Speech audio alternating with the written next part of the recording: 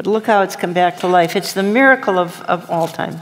It is. Uh, here's a headline. It's number three, you guys, if you want to put it up uh, just to get things going here. Trump fires back after Iranian leader condemns him on Twitter. Trump fires back and says, Make Iran great again. Today's video is a very unique discussion between Jan Markell and Pastor Jack Hibbs about Bible prophecy, Iran's influence, the development potential of Christianity in Iran, Vladimir Putin's role in the Middle East, and the power struggle between Turkey and Russia. Jan Markell exposes false prophecies and teachings, criticizes the decline of sound doctrine in churches, and discusses the connection between climate change and the Bible, arguing that it is the result of not having faith in God. Jan Markell is a respected figure in the Christian community who monitors and exposes false prophecies and teachings and organizes the largest Bible prophecy conference in North America. Besides, there are also comments from David Jeremiah and Jimmy Evans about the end times and prophecies fulfilled in the Bible. 2 Peter chapter 2 about false prophecies, false prophets and false teachers.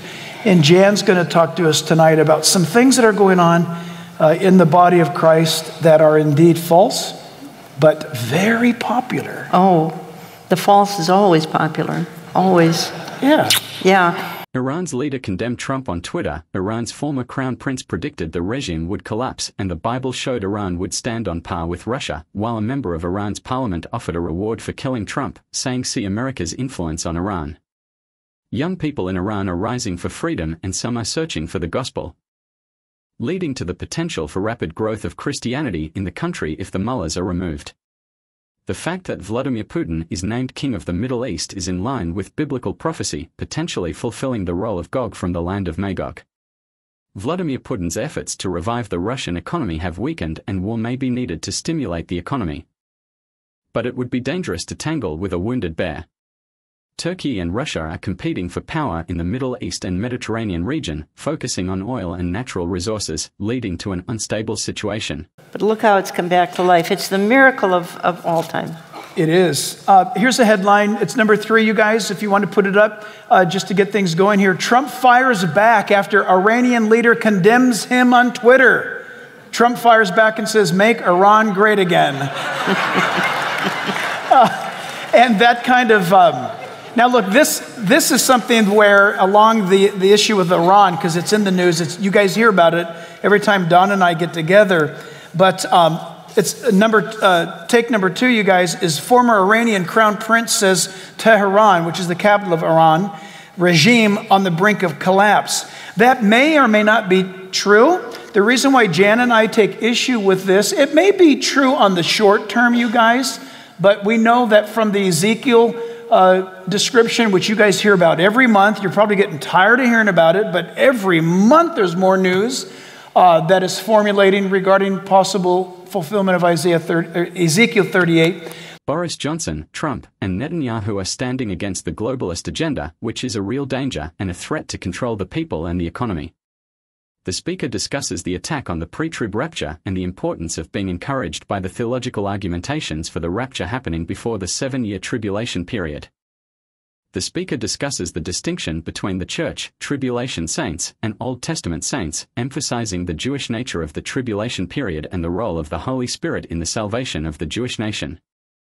Believers are called to live for Christ and be ready for his return, while tribulation saints are called to die for him and the church is referred to as having fine white linen clean and bright. The church has steered away from teaching Bible prophecy because it is seen as controversial and not productive for church growth. Money will play an essential role in all of the events of the future, including the end times. There's a couple of chapters in the book of Revelation where the economic center of the world at that time, Babylon, is destroyed and it occupies dozens of verses talking about the destruction of Babylon, the center of the monetary world. So, money's always been important in the past. Everything connected with economics is increasingly important today. But it's driving our world. I think we can assume money will remain important in the future and that it will dominate our world even more in days to come. Get ready. One more item deserves mention. This is pretty up to date and pretty right on for right now, and that's the rise of all digital currencies, also known as cryptocurrencies. While national currencies such as the dollar or the euro are officially backed by government reserves, digital currencies are decentralized. They don't have a physical foundation in gold or other tangible assets. Instead, cryptocurrencies exist entirely in the world of cyberspace. They are produced online, stored online, and spent online. Incredibly, there are more than 6,500 cryptocurrencies circulating in the world today. Now, many see these digital currencies as the wave of the future. They imagine a world where physical currency has been entirely removed and all transactions are processed digitally. Many voices are even declaring the need for a central bank digital currency, CBDC, which would be a government backed cryptocurrency designed to be the legal tender of a nation or perhaps even the entire world. The Bible says that the rapture is going to happen. It's going to happen at any time. It could happen right now during this time. There's nothing that has to take place for the rapture to occur. It's signless. Hmm. And so, what happens after the rapture? Immediately after the rapture, the tribulation begins. When the saints all go up, all hell breaks loose on earth. And all these tribulation things will happen. If we believe that the rapture could happen at any time, and we say we do, and we clap when we say it, if we believe it could happen today, what that means is all of these things I'm talking about couldn't be any further into the future than a seven year period. And most of them will happen in the middle of the tribulation as we move toward the end. So this is not just, oh, out in the future someplace. Oh, it's so far away, Pastor, I don't want to hear. No, no, no. If the rapture is signless, if it's imminent, and it could happen today, all of these things could happen in the tomorrows after that today. Thank God we won't be here. We'll be in heaven. But those things will be happening on this earth. In other words, Satan will cause his false prophet to appear like a meek and gentle lamb, when in reality he will have the heart of a destroyer. Satan will be the power behind it all, and the Antichrist will be the political leader, while the false prophet will be the spiritual leader and the economic leader. And he'll be able to accomplish incredible things like bringing the Antichrist back to life after a mortal wound and enabling an idolatrous image to speak. You can read all about it. It sounds fantastic, but it's in the Bible and it's gonna happen. The false prophet will also lead people into the worship of the Antichrist. His influence will be supernatural and demonic. For our purpose here, I want to direct your attention to the false prophet's economic power. He has two things that he does. He controls the spiritual temperature of the world and the economic temperature of the world. I want you to hear what the false prophet says at this particular time through the prophecy of John in the book of Revelation.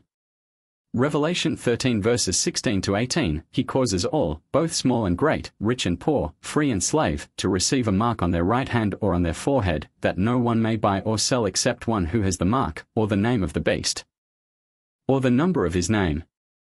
Here is wisdom.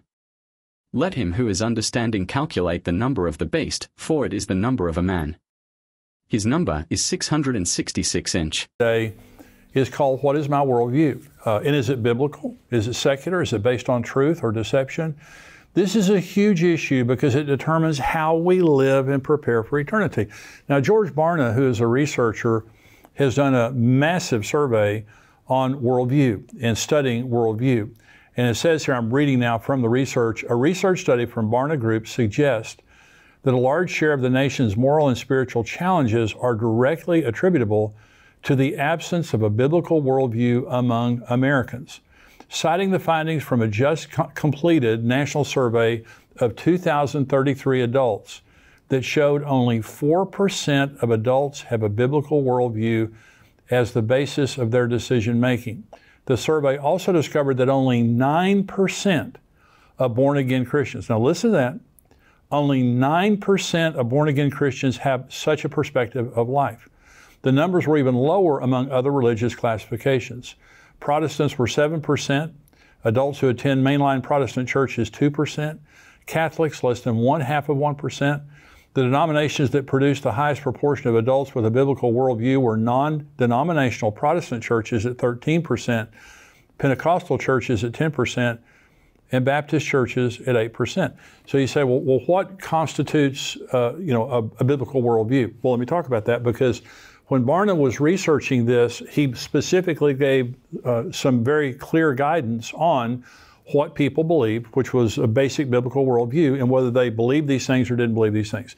For the purpose of the research, a biblical worldview was defined as believing that absolute moral truths exist, that such truth is defined by the Bible.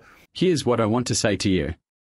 And maybe this comes as a strange message at a time like this, but I want you to hear it because it's true. Following Jesus carries a cost.